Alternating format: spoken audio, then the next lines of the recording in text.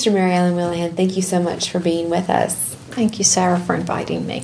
Well, as I mentioned to you before we got started, I'm really excited that through Women in Witness, we're going to be able to highlight um, the contributions of both lay and religious women um, because I think both of those bring such unique perspectives to the church and to our faith life here in the Archdiocese of New Orleans. So I'm, I'm really excited to talk with you today and everything that you do.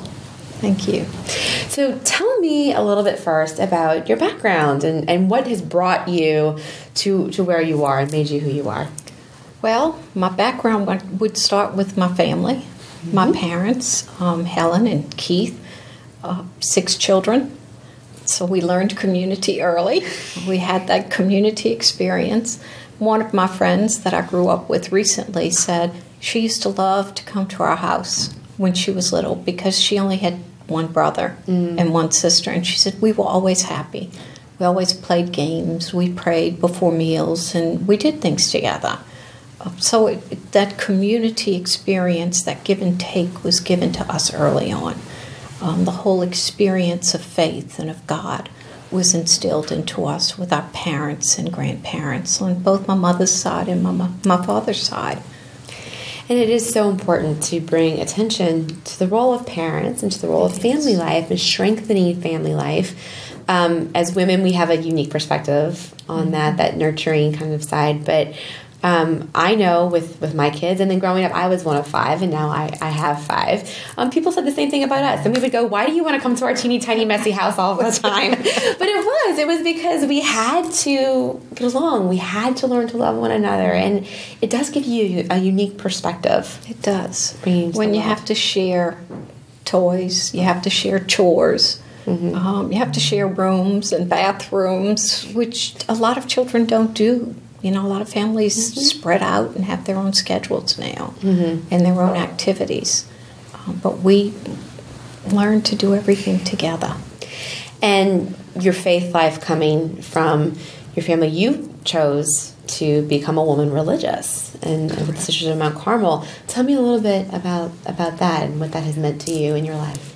Well, I come from a unique experience in that I was taught by the Sisters of Mount Carmel at St. Dominic. Mm-hmm. Um, so I had that um, prayer and Carmelite spirituality ingrained in my faith life from mm-hmm. the beginning. But at the same time, we had the Dominican priest, so we had that side of the truth and of study, the value of, of finding God um, in the theology, the whole theology aspect of it. And then I went to Cabrini High School where I had the experience of Mother Cabrini, you know, her her background and that whole service, the idea of service mm-hmm. to others and meeting the needs of other people um, right here where we are present now. Um, and then as I went to graduate school, I went to Regis University in Denver for family ministry and learned you know a different type of service and then and that whole spirituality of the family that whole spirituality of education came from the jesuits. So i kind of have a well-rounded background with the different spiritualities. But i love um, when i whenever i speak with you it, it i mean obviously we have to talk about work very often. Um, but you always talk about your family. You're so involved with your sisters and your brothers and your nieces and your nephews, and they are engaged with you. Um, and you are obviously part of your religious community. You have that family, and but you're able to maintain these relationships in, in such a seemingly healthy way. Um, how does your witness as a, a woman religious build into that? Actually, I think sometimes it's um, they build into me. Yeah. They feed me mm-hmm. more than I feed them because of their witness of living the faith in the world that they live in as a fam- as family members. Um, my sisters and brothers still laugh when they look at me and say, "She's really a nun." you know, of the six of us, I was the least likely in really? their eyes to be a religious. Hmm. Um, it's always that one. Eh, yeah, right. and but it, we spend time together. Um, one of my nephews recently, we were talking about when that lottery got so big, and we were saying, "Oh, we need to go get lottery tickets."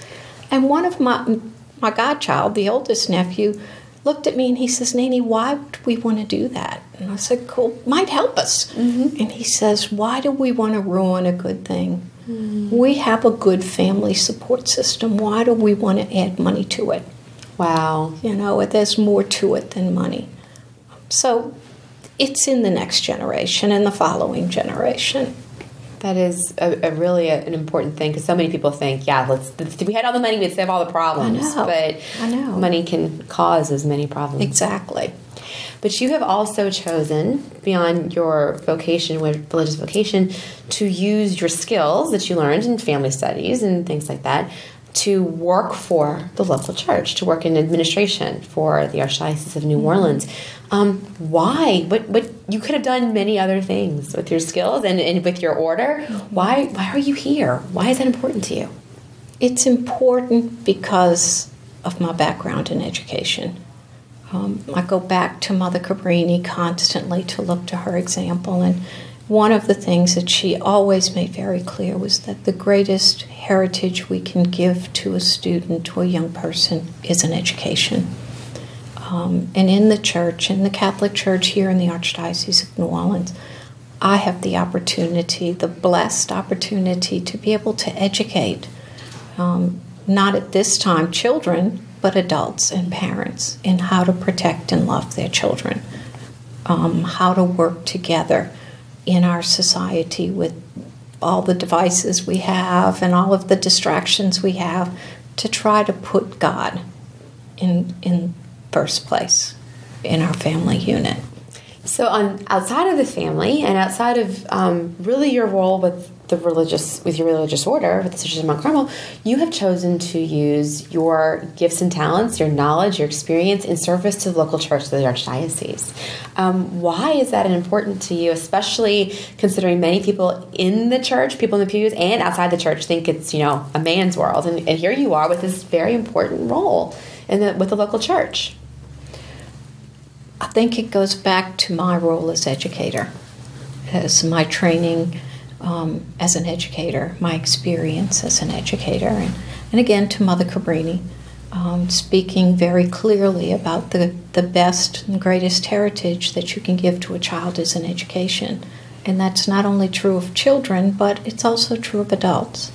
Um, it's important for us to educate our people in the faith and in my role as Safe Environment Coordinator, um, I truly, truly believe that the best gift we can give to people is an understanding of the importance and the value of each and every child as being a gift of God and created in the image of God.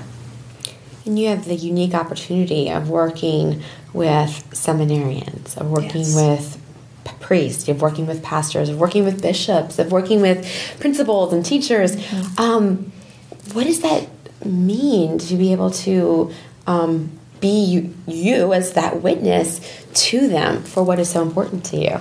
Sometimes it's frightening. sometimes it's frightening.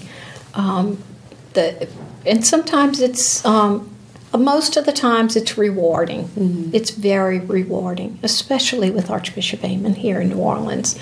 Um, he is so so much a blessing, um, not only to Safe Environment but to the people in general.